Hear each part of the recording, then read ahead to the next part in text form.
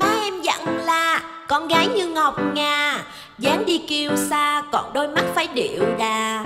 Tính em thiệt tha chất phát không điều hòa. Nếu ai thương em thì xin chớ có lèm bèm.